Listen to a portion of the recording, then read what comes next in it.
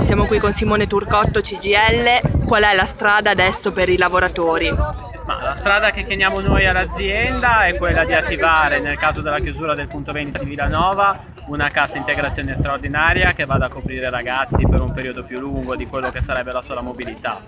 e di modo, modo di dare loro la possibilità in questo periodo di, trovare, di potersi ricollocare e di avere anche un, un,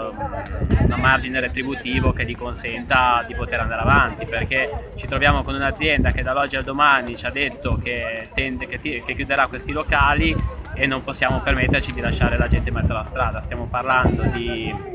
16 persone perché sono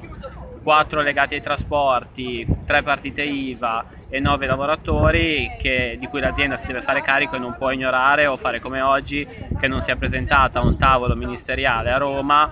indicando non si sa quale ragioni e a modo di prendere tempo e riuscire a,